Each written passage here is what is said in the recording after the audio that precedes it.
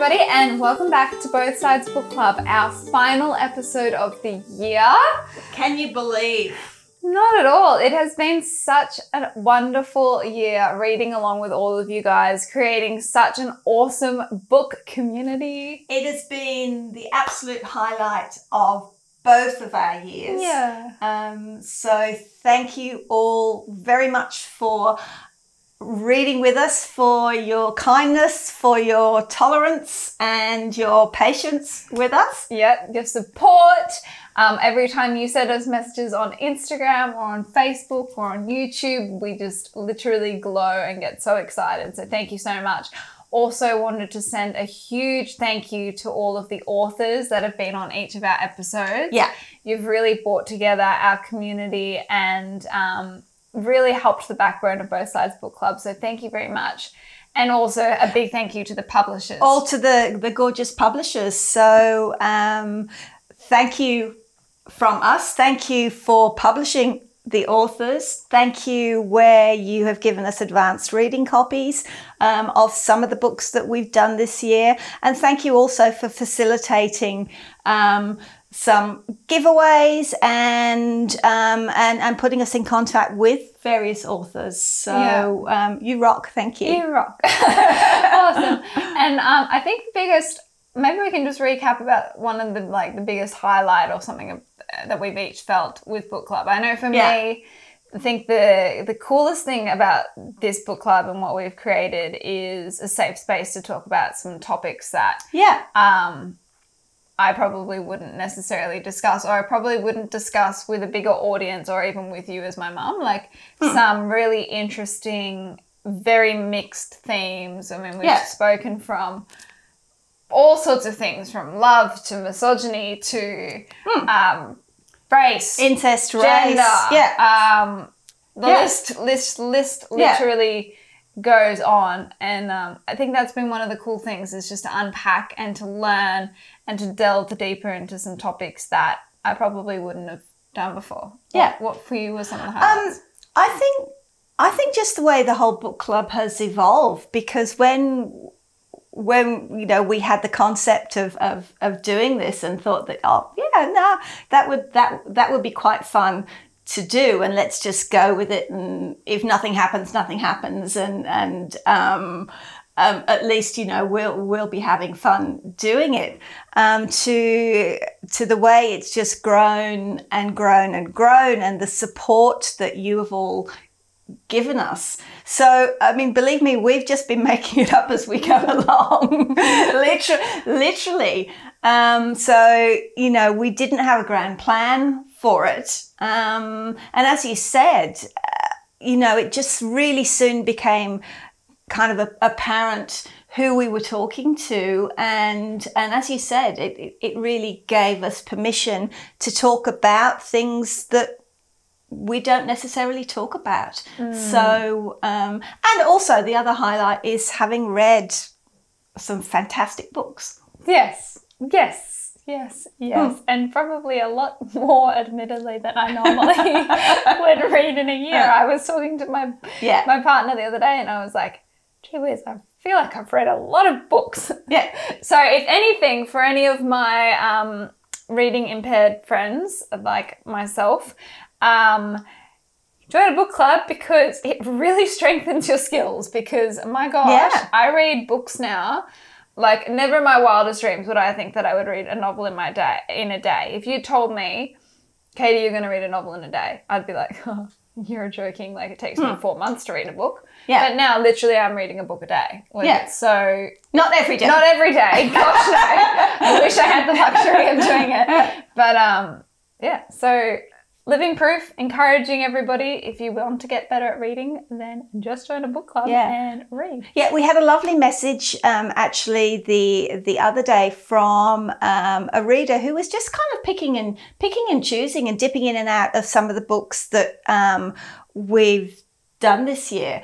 Um, and she was actually just she just finished one of the books, and um, she was actually then going to go backwards and read our very first book, um, There Was Love, which I kind of I, I really liked that because it just nicely bookended the the the the year for me.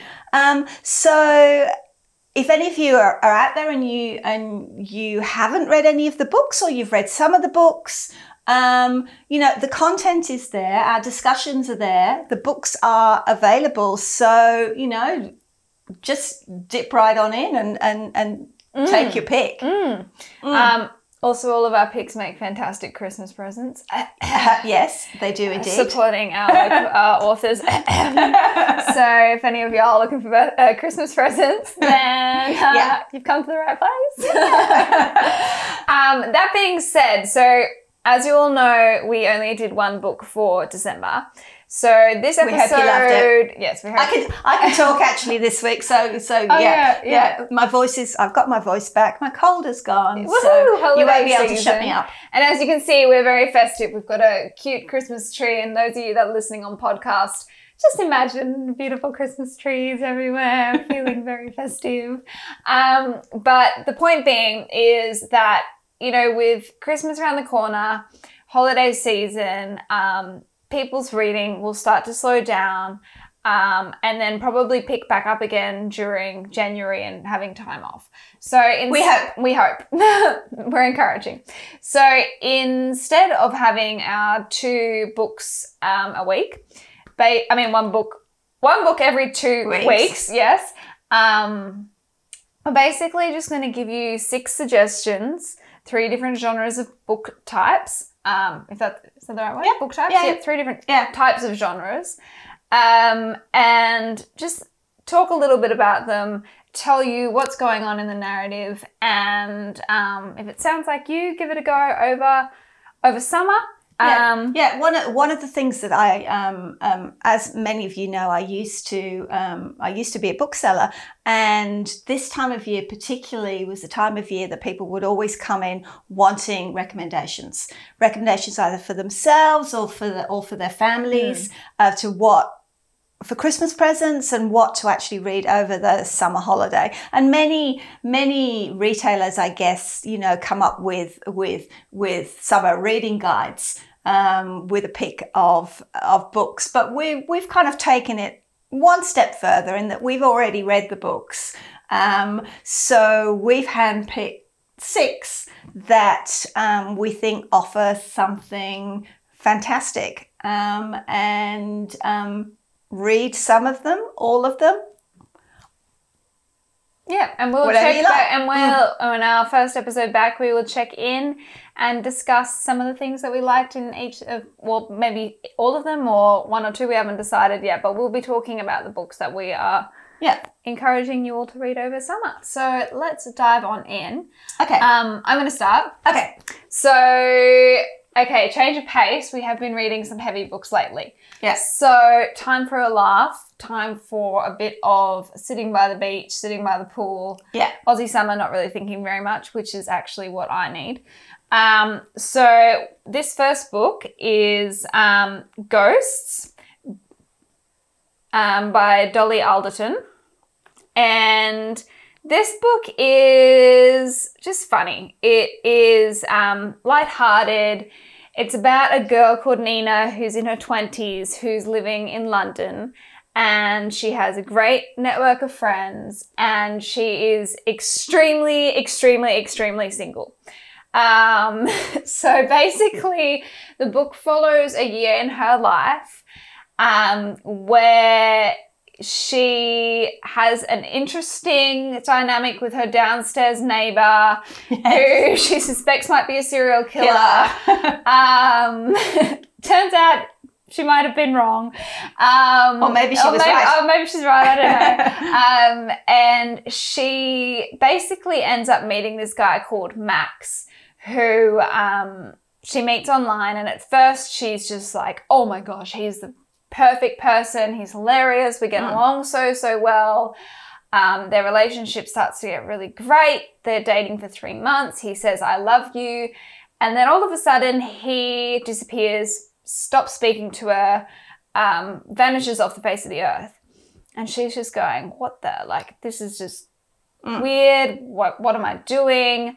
Um, he then comes back into her life, going, Oh, I was an idiot. Don't Like, give too much away. I missed you, blah blah blah. and um, anyways, it's about their sort of interesting relationship and um, just a funny, light-hearted read. So, But, but I think it's also, um, but it's also incredibly um, thought provoking in terms of just it's not just funny funny you know the i think the characters are great um, and the insights into um, into relationships and turning 30 um, and negotiating your way um, around friends and partners and parents Is, is is fantastic I, Yeah. la- I laughed all the way through it so there you go. That's our first one. Ghosts.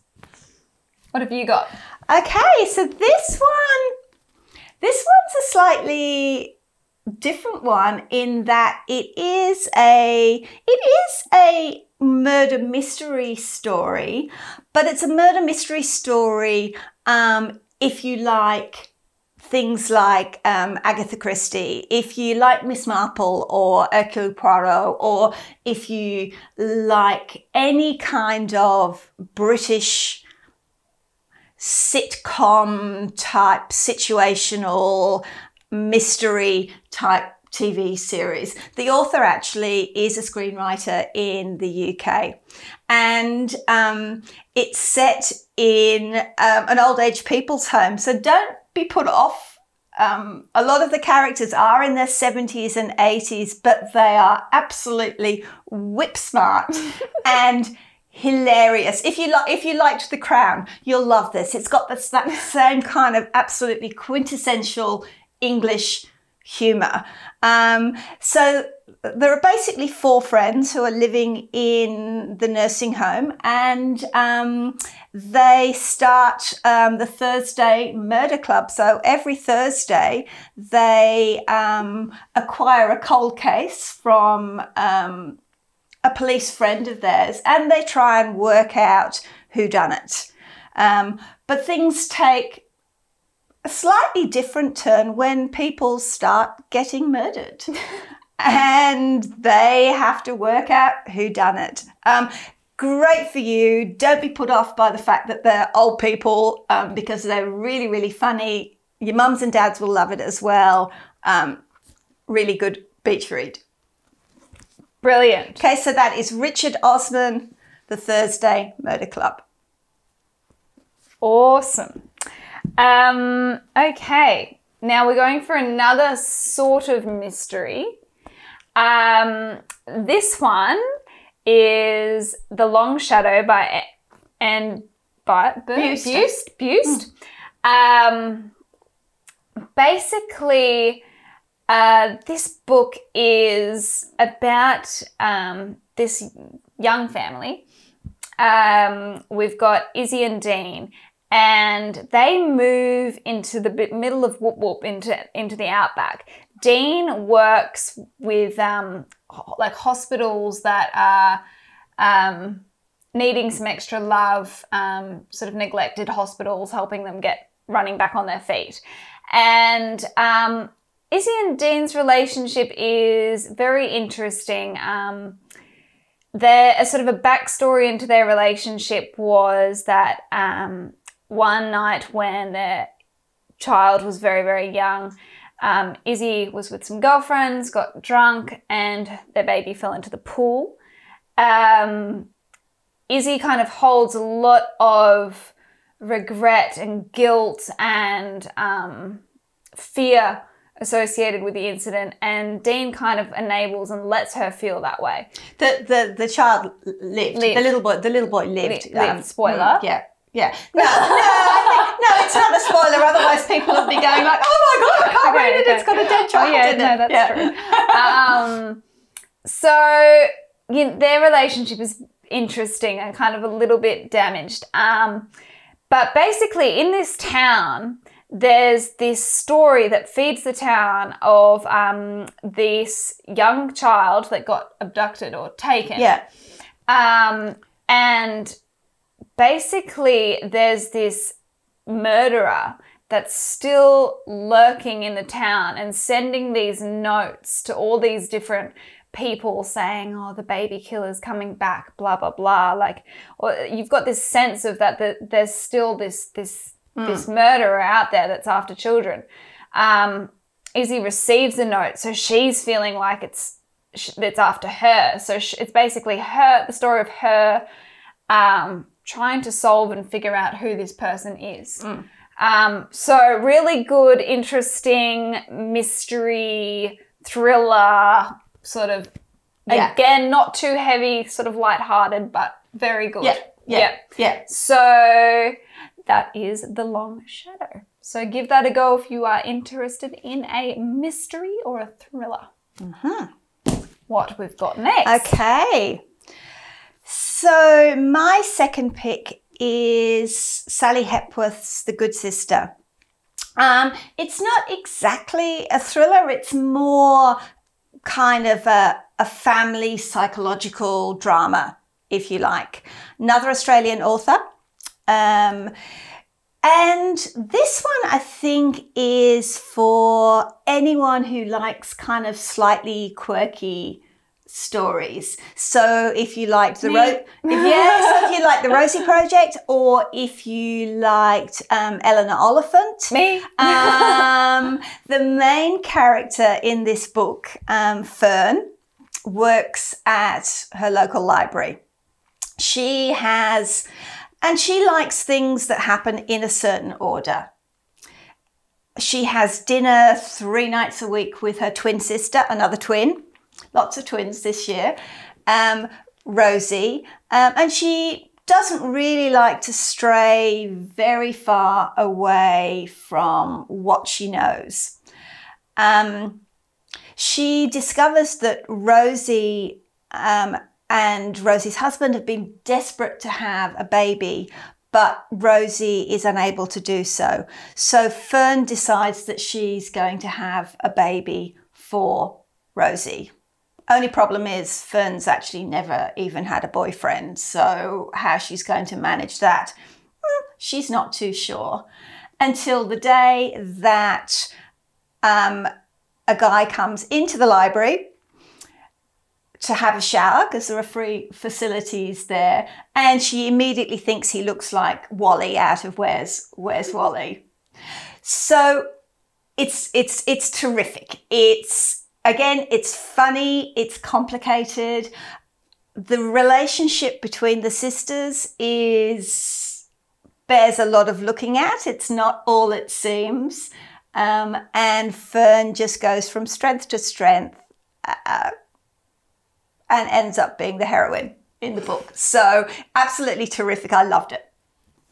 Amazing. Okay, so that's Sally Hepworth, The Good Sister. Awesome. So, change of pace now, another um, genre.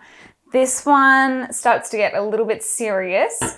So, for anybody wanting a little bit of meat during this summer reading, um, I would suggest this is where you sort of come to. Um, so, this is The Night Letters by Denise Leith. And this story um, is set in Afghanistan, in Kabul. And um, it follows the storyline of the, this main character called um, Sophia.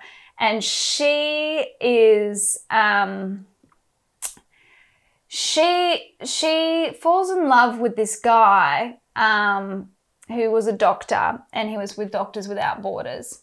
And she starts to get this fascination of helping out in countries with aid and trying to fulfill a purpose that's bigger than her. Um, so she takes this job in Afghanistan and um, is working with a whole bunch of patients and starts to discover that um, so this is sort of set after after the Taliban, but stuff it's it's still very Afghanistan is still very unsettled. There's still a lot of stuff going on. Um, it's not at all all peace and happiness. Um, and she starts to discover that young boys start to go missing. Um, and basically, these young boys have become playthings for um, men in higher power. So it's a bit unsettling, um, but basically, she wants to try and get to the bottom of it and figure out what's going on. Her life and her situation starts to become under great threat, and it really starts to grip you. So, I would suggest this book for anyone that wants a little bit more meat. Yeah. Um, also, extremely, extremely brilliant. So, this is The Night Letters by Denise Leith. Okay. So, Last but not least. last but not least, so my final pick is Betty by Tiffany McDaniel. Wow. Okay. This, again, I'm going to give you a warning with this one. If you're of a sensitive disposition, this probably isn't a book for you because there are parts of this that are very disturbing. Um, and mm, there's, there's, there's a fair bit of, of violence in, in the book. However, it's brilliant. It's absolutely brilliant. I have to say, um, um, I got hold of, a, of this book earlier in the year and and um, and kept putting off reading it. Um, and I finally read it about a month ago, and I could not put it down. I just absolutely could not put it down. So it's basically the story. Sounds of, like a challenge. I know. Look, it's basically it's the story of a girl called Betty Carpenter. It's set um, in in the shadow of the Appalachian Mountains in America. Um, it's set in the 1950s, um, and Betty is the um, fifth of six children born to um, a Cherokee father and a white mother. Now they're dirt poor. They're absolutely dirt poor.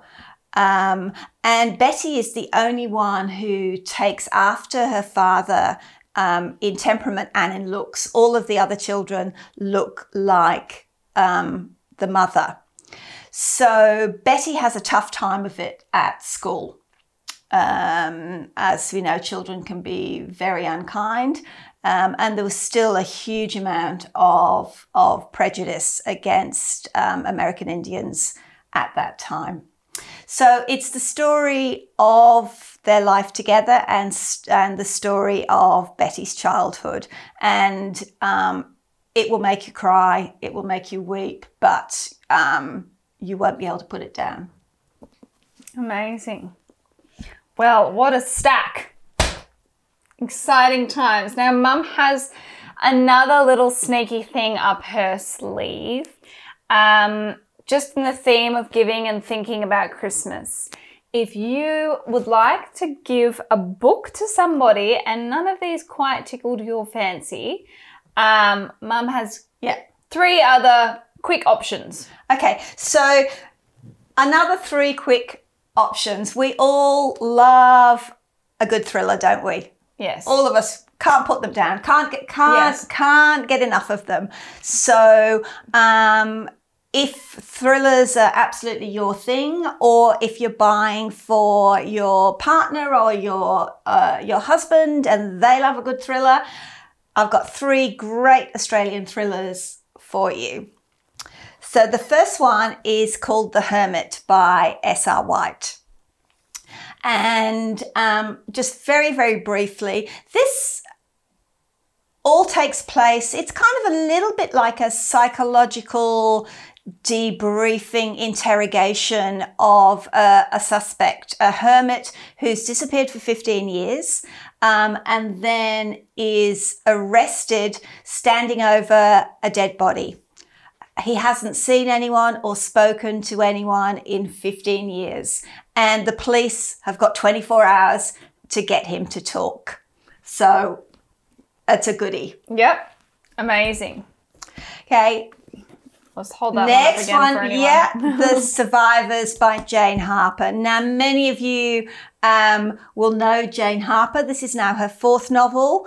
Um, her first one, The Dry. Actually, I just saw this morning the movies coming out. Oh, on- really? Yeah, yeah. Oh, I on- loved on, The um, Dry. yeah, on, on Exciting. on New Year's Eve. Lots so that's of, fantastic. And lots of um, I have to say, lots of blokes love the dry too. Absolutely. Well, Yeah. this one, this fourth one is terrific. Set in a small town in Tasmania. It's the story of um, a guy who goes back to visit his parents in the small town where he comes from with his wife and his um, baby daughter. Something happened when he was 18 and um, somebody died and somebody went missing and this is the first time he's been back since then so lots of red herrings lots of clues you will not work out who the murderer is right until the end Cool. and, and the final one is Where the Truth Lies by Karina Kilmore. Again, another great Australian book. And this one is more, um, again, it's a thriller, but the main character is a journalist. We love a good journalist digging into the background. Um, and this one is set on um, the wharves. So basically, we have a battle between the unions and big, big, big business, and the investigative journalist Chrissy basically wants to find out what's going on. So a grand, great, great holiday read. Amazing. Wow. What a stack. Hmm. Which one will you choose? Which one will you choose? so, everybody, as I said before, we won't be having any more episodes until next year. However, we will still be very active on social media. Absolutely. And if you and if you do get stuck into any of the books, then let us know. Let us know Let how you go. Yeah, we hmm. are always on the gram. So send us a message, send us a DM. We love to chat books over this summer. So yeah, happy reading, everybody. Now Merry Christmas. Merry Christmas, and we are about to go put our Christmas tree up. Absolutely. I hope Mum bought us mince pies. Little Okay. brat, Catie. All right, everybody. Okay, until next time. happy Christmas, uh, Merry Christmas, and Happy New Year. Happy reading. Happy reading. We hope you enjoyed watching this episode. If you did, please leave us a comment below. We'll see you soon.